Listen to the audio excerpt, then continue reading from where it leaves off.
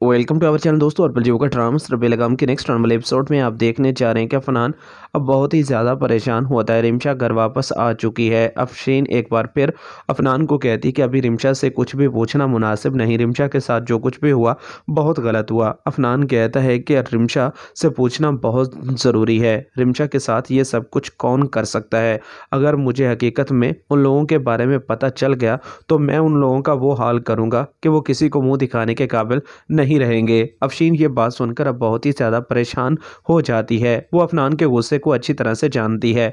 वो नहीं चाहती कि ऐसी वैसी कोई भी बात हो। इसलिए वो एक बार फिर अफनान को यकीन दिलाने की कोशिश करती है कि बहुत जल्द सब कुछ ठीक हो जाएगा। रिमशा तुम्हें खुद ही सारी हकीकत बता देगी। अभी वो बहुत ही ज़्यादा परेशान है। उससे अभी उन लोगों के बारे में पूछना मुनासिब नहीं। ये बात सुनकर अफनान भी अब बहुत ही ज़्यादा परेशान रहने लगा है। अफनान को भी अब अपनी फूफो और अलीजे पर शक होने लगा है, क्योंकि बात बात पर वो रिमशा से दूर रखने की कोशिश करते हैं, जिसकी वजह से अफनान को अब मुकम्मल तौर पर शक हो चुका है। आने वाले एपिसोड में अब आप ये भी देखने चाह रहे हैं कि अलीज़े रिमशा के पास जाती है। रिमशा को कहती है कि आखिरी बार समझा रही हूँ। अगर मेरा नाम तुमने बताया तो बहुत बुरा होगा। ये बात सुनकर रिमशा कहती है कि आखिर तुमने मेरे साथ ये सब कुछ क्यों किया? अली से मैंने तो कभी भी तुम्हारा बुरा नहीं चाहा। मेरी ज़िंदगी तुमने बर्बाद कर के रख दी। यह बात सुनकर एक बार फिर अली से कहती है कि अब भी वक्त है, इस घर से खामोशी से चली जाओ। जो कुछ होना था हो गया।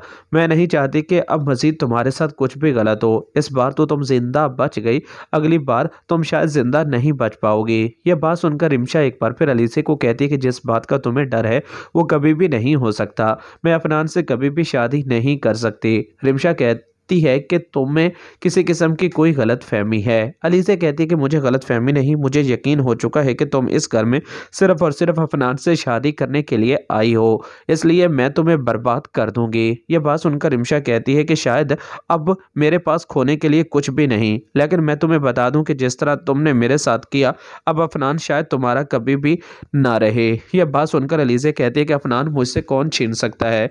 दूसरी तरफ़ अब आप ये भी देखने चाह रहे हैं कि एक बार फिर सलमा सलमा अपने शोहर को कहती है कि आखिर आपका बेटा कर क्या रहा है? पहले भी शानी की वजह से रिमशा की ज़िंदगी में इतना सब कुछ हो गया।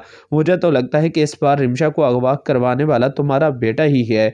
यह बात सुनकर अनवर ऐसा कैसे हो सकता है? तुम अच्छी तरह से तो जानती हो कि शानी के पास अब एक रुपया भी नहीं।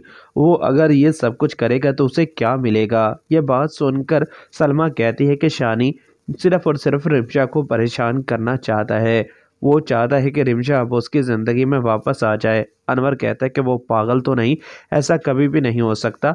रिमशा और शानी के बीच अब ऐसा कुछ भी नहीं, और शानी मुझे खुद बता चुका है कि वो ऐसी हरकत कभी भी नहीं कर सकता। मुझे लगता है कि ये कोई और ही है। ये सब कुछ आप आने वाले एपिसोड में देखने जा रहे हैं। दोस्तों, चैनल को सब्सक्राइब कर लें ताकि हर आने वाली वीडियो सबसे पहले आप तक पहुँच सके। शुक्रिया। अल्लाह हाफिज़। अपना ख्याल रखें और चैनल को सब्सक्राइब करना ना भूलें।